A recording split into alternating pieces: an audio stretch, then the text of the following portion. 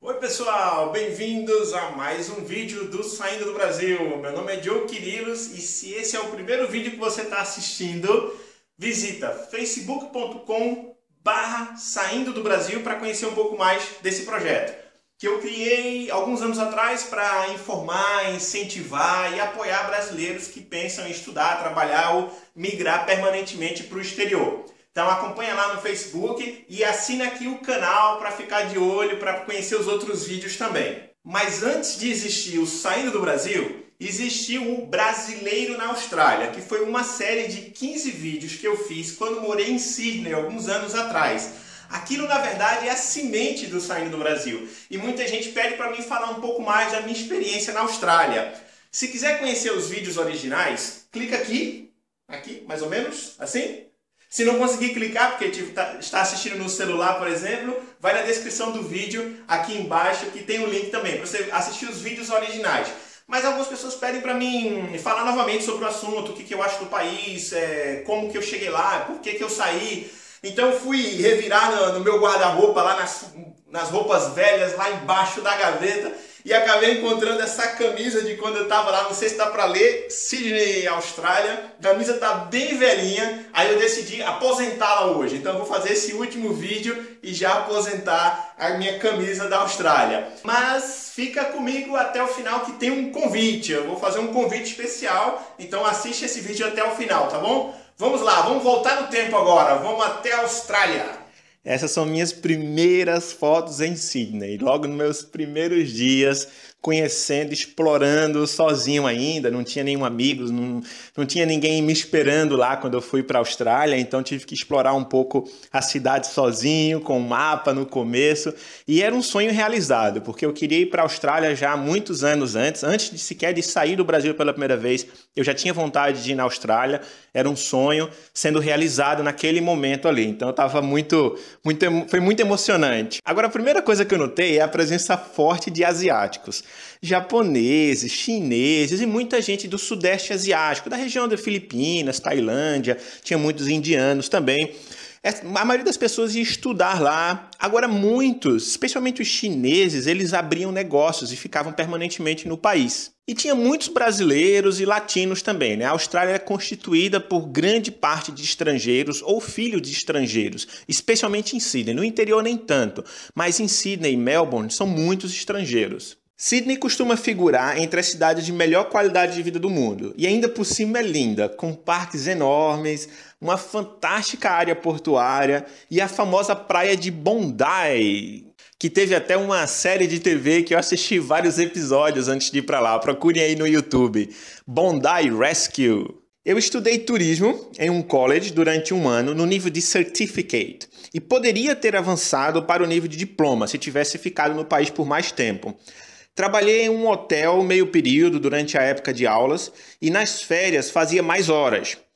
Como eu já fui com o dinheiro do college separado, eu consegui juntar dinheiro fazendo essas horas extras para fazer alguns passeios dentro da própria, do próprio país e também cheguei a visitar os países vizinhos. Eu fui até Nova Zelândia, Tailândia, Vietnã e Camboja. Foi fantástico, passei mais de um mês de férias viajando por esses países e tudo com o dinheiro que eu juntei no próprio país. O meu custo de vida era baixo.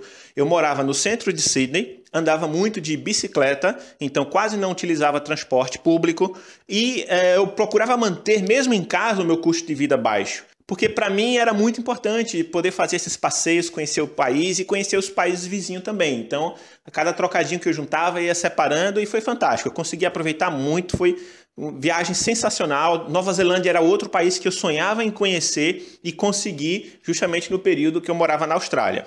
Eu morei primeiro em um pequeno apartamento compartilhado com um italiano e três amigos filipinos. Então era, era dois quartos, três quartos apenas. Então era bem, bem compacto. Depois eu mudei para uma casa grande, cheia de estrangeiros. É, mas curiosamente não tinha nenhum brasileiro. Então, na verdade, eu nunca convivi muito com brasileiros lá. Eu cheguei a conhecer alguns, às vezes no futebol, por exemplo, mas eu nunca vivi com brasileiros. E interessante que no trabalho também eu era o único brasileiro. E no college é, tinha pouquíssimos brasileiros, nenhum que eu tinha um contato mais frequente. Então não foi de propósito isso, mas eu convivia muito pouco com brasileiro.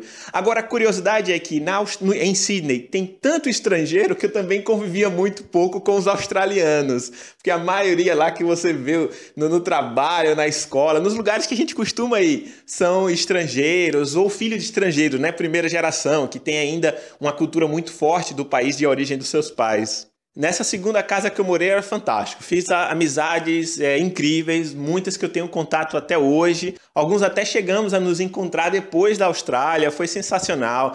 As brincadeiras, as festas, as atividades que a gente fazia em casa. Então a casa era grande, com muita gente, muito estrangeiro. E eu estava lá o único para representar o Brasil. O pedido de visto para estudar na Austrália tem que ser feito antes. Então, basicamente, o processo, de forma bem resumida, você precisa contactar um college né, fazer o processo de matrícula, enviar o dinheiro, fazer o pagamento. Aí eles te enviam uma carta, um documento comprovando a sua matrícula. E com esse documento, além de outros documentos, como comprovante de renda, é, passaporte e passagem de, de volta, aí você pode pedir o visto, solicitar o visto australiano, mas tem que ser feito com, com antecedência. No meu caso, eu, eu estava morando no Reino Unido na época, né? Já, como eu já é, não era o meu primeiro intercâmbio, já tinha viajado para o exterior antes, já falava inglês, estava né? vivendo lá no Reino Unido, então ganhava em libras, que é uma moeda mais forte que o dólar australiano. Então, para mim foi mais fácil fazer isso diretamente com a escola, ainda que eu tive que fazer muitas horas de pesquisa, madrugadas e madrugadas, acordado, para entender tudo, para pesquisar, para tomar decisão, para é, é, pesquisar várias opções de college, lugar para viver. Então foi, um, foi um, um, trabalho muito extenso, mas como eu já tinha experiência, falava inglês, então foi mais fácil. Se você quiser saber logo quanto custa, quer colocar na mão de profissional, receber alguns orçamentos, não tem tempo ou não quer arriscar fazer isso tudo sozinho, por exemplo, preencher um pedido de visto errado e acabar tendo visto negado por causa de um erro, então vocês podem fazer através de uma agência de intercâmbio. Né? Eu particularmente recomendo Ideia Intercâmbios, que eu tenho total confiança. Tá, colocar aqui o e-mail na, no vídeo aqui, no link embaixo também. Basta vocês mandarem um e-mail, dizem quando pretendem ir, que eles te dão alguns orçamentos. Você vê, se você quiser fazer por conta própria, eu fiz por conta própria, né? Mas eu já tinha experiência, falava inglês, então, e ainda assim deu muito trabalho. É, se você quiser colocar na mão de profissionais, é, eu recomendo, especialmente se for o seu primeiro intercâmbio, se você ainda não fala a língua, ou se você não tem alguém no país é, para te receber, para fazer matrícula lá na escola para você, para trocar dinheiro, para essas coisas. Então, eu acho que é mais interessante ter o apoio de uma agência de intercâmbio. E o convite que eu vou fazer para vocês é para o nosso primeiro hangout da Austrália. Eu venho fazendo hangout de diferentes países e chegou a vez da Austrália. Eu convidei duas pessoas, dois convidados super especiais, mas eu não vou dizer quem é não. Eu vou anunciar amanhã no Facebook do Saindo do Brasil. Então, vocês acessam facebook.com/barra Saindo do Brasil para ver quem são os nossos convidados. Gente, duas pessoas super especiais que vivem lá na, na Austrália e que tem muito conhecimento para compartilhar com a gente. Então não esquece de acessar o Facebook amanhã. Se você estiver vendo esse vídeo muito tempo depois que eu postei, o talvez o Hangout ainda esteja disponível no canal. Porém, quem assistir ao vivo o Hangout pode ganhar um presente. Quem assistiu os outros Hangouts já sabe do que, que eu estou falando.